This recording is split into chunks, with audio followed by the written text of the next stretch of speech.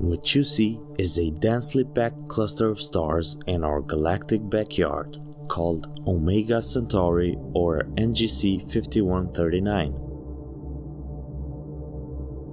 This huge ball of stars is older than our Sun.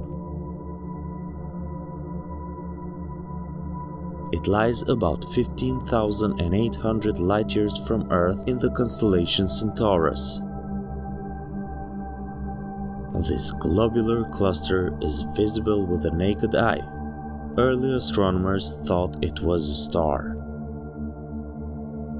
Hosting about 10 million stars within a region about 150 light years in diameter, Omega Centauri is the brightest, largest, and most massive globular cluster in our galaxy, the Milky Way.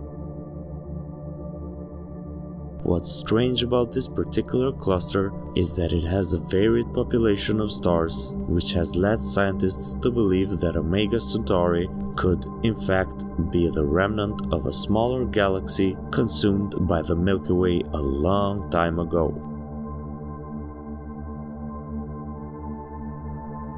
Globular clusters orbit our galaxy outside the galactic disk, they contain tens of thousands to millions of member stars that are bound together by gravity and remain intact for billions of years. Stars in other clusters usually have a similar age and chemical composition, while members of the Omega Centauri cluster show diverse chemistry and wide age range from 12 billion years to relatively young.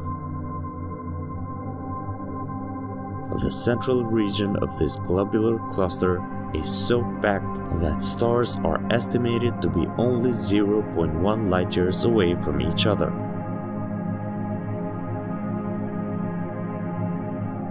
Researchers have actually found evidence for a black hole at the core of Omega Centauri, using data from the Gemini Observatory in Chile and the Hubble Space Telescope. The black hole could be about 40,000 times as massive as the Sun.